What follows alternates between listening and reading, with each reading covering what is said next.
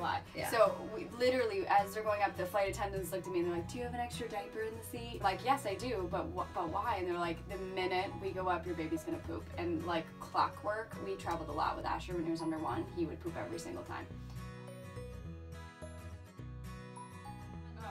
Everyone told me I, sh- you know, oh, just do wait. Caffeine's gonna do a number on Uh, them she was fine? She's fine. Caffeine helps. So I don't really normally drink coffee. This is tea. Um, and This but caffeine chocolate. helps Addie go to the bathroom. Definitely. Like if she's like backed up and I have caffeine, it definitely will help her. Like three or four days in between uh, poops, it's the baby's getting better at metabolizing the breast milk. So it's not necessarily that they're constipated. They're Yeah, just like what's interesting about uh, the poops themselves is that you know when when there's a dairy dairy allergy, so like if if, Mm. if they are allergic to something, the consistency of the poop completely changes. So it's green, it's mucousy, it's Oh, like whoa. you. That's when you know your baby Yeah, has a dairy wrong. allergy, right? So.